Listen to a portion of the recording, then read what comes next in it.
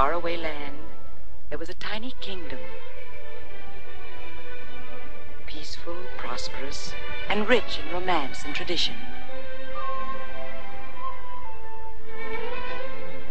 Here in a stately chateau, there lived a widowed gentleman and his little daughter, Cinderella.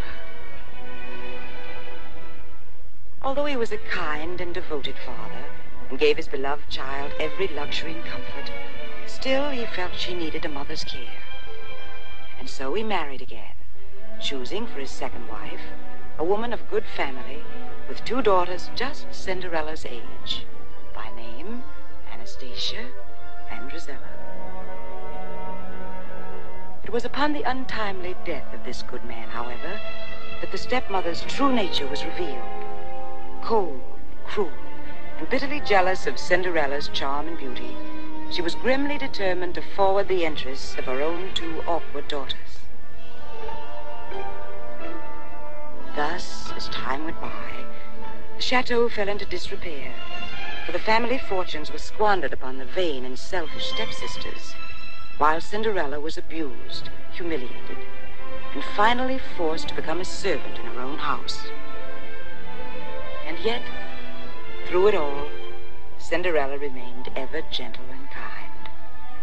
For with each dawn she found new hope that someday her dreams of happiness would come true.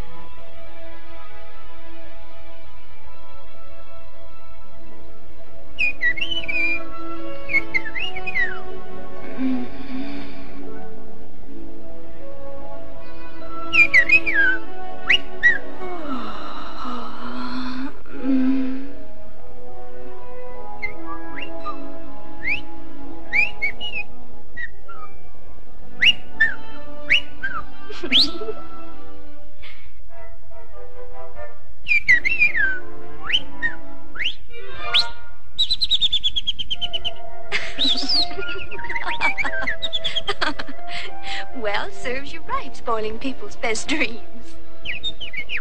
Yes, I know it's a lovely morning, but it was a lovely dream, too.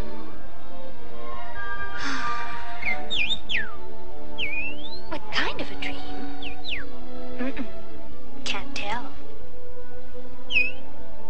Because if you tell a wish, it won't come true.